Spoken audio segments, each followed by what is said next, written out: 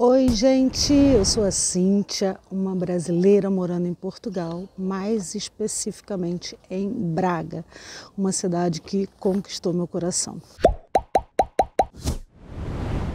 O vídeo de hoje é em colaboração com minhas amigas aí de outros países, nosso projeto lindo Alma Brasileira, um projeto que todo dia primeiro a gente vem falando aí dos lugares né, que a gente mora.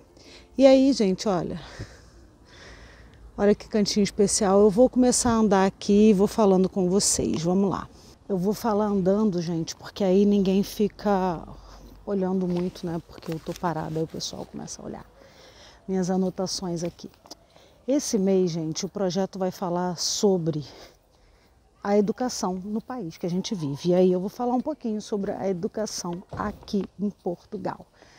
Primeiramente, lembrando que o ano letivo aqui começa em setembro e termina em junho, quando começa o verão. Aqui, gente, ó, na educação infantil, é o ensino público. Aqui tem a alimentação que também é paga. A educação pública é a partir dos três anos de idade. Antes dos três anos, a criança tem que estudar infantários e aí o pai tem que pagar, né? Então, se quiser, como se fosse uma creche. E aqui também, gente, nós temos as ATLs. ATL é atividade livre. Então, assim, o horário da escola é de 9 às 15 horas. Então, você já pode deixar o seu filho lá a partir das 7 horas da manhã. E aí pode pegar às 7 horas da noite. Essa diferença aí de horário, de 7 às 9 e depois das 3 horas da tarde até às 19 horas, você vai estar pagando essa ATL, que é essa extensão de horário. E as crianças ficam na escola, o que é muito bom para quem trabalha fora. Na escola também tem a alimentação, que é paga dependendo do escalão. Isso daí eu já posso explicar em outro vídeo, né? Porque é feito pelo escalão para saber aí quanto você precisa pagar, né?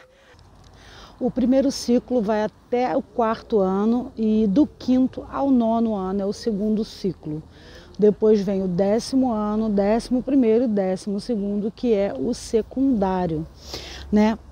É, o segundo ciclo não tem a ATL, então as crianças têm que sair e ficar em casa mesmo, mas também já são maiores, né? É, a alimentação também é paga ou não, dependendo aí do seu escalão. O secundário ele pode ser técnico e aí se ele for técnico, normalmente é o dia inteiro e aí você pode se alimentar na escola ou você pode levar também de casa, lá tem lugar para você esquentar a comida. Agora está um pouco complicado, né, gente, por causa da pandemia. Na verdade, a gente nem está tendo aula ainda no secundário, só as crianças que voltaram. Mas aí você tem alimentação no secundário, se for técnico é o dia inteiro.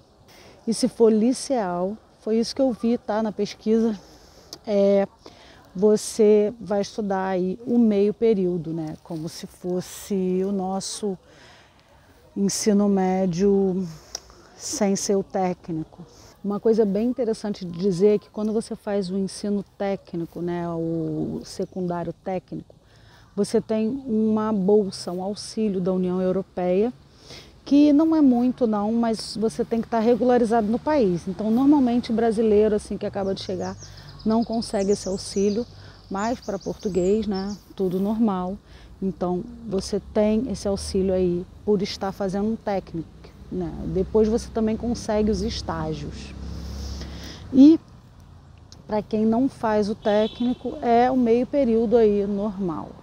Bem interessante também que quem está no técnico, gente, não precisa prestar o vestibular, ele já vai direto para a universidade, que a universidade pública aqui, gente, é paga.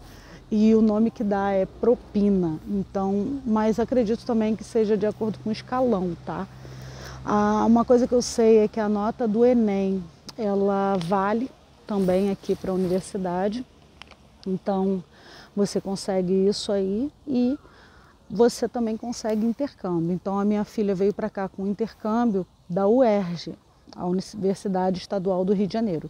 Então, não paguei nada para ela estudar na Universidade do Minho, aqui em Braga. Por quê? Porque era pago pela UERJ.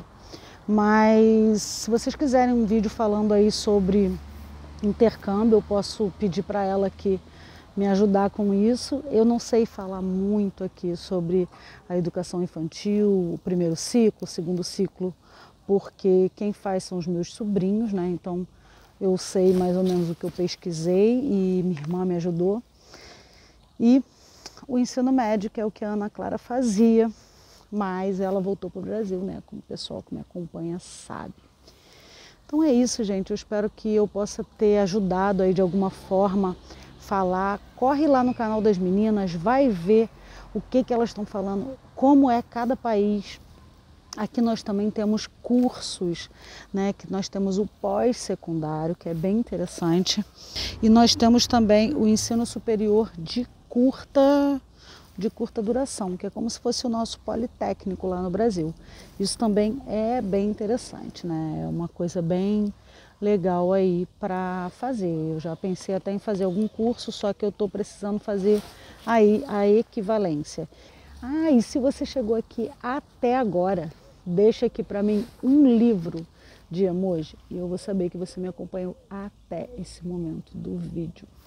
Então, gente, se vocês quiserem alguma coisa mais aprofundada, algum assunto aí da educação mais aprofundada, deixa aqui para mim nos comentários, que aí eu posso fazer um vídeo separado aí falando sobre cada coisa, que aí eu vou pesquisar mais a fundo para falar com mais propriedade para vocês.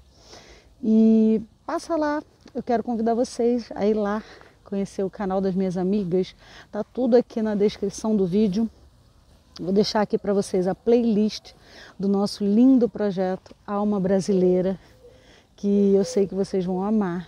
Então tem muita gente bacana aí contando, né, como funciona aí, como é morar fora do Brasil e como está, né, a educação lá no país em que elas estão. Eu estou falando aqui de Portugal e mês que vem, dia primeiro, nós viemos aí com mais um tema bem bacana para vocês, tá? Um super beijo, se inscreve aqui na bolinha e até o próximo vídeo. Tchau! Gente, eu fiquei esperando aqui o moço sair, ó, para mostrar. Olha que coisa linda esse pedacinho. Eu gosto muito. Tchau!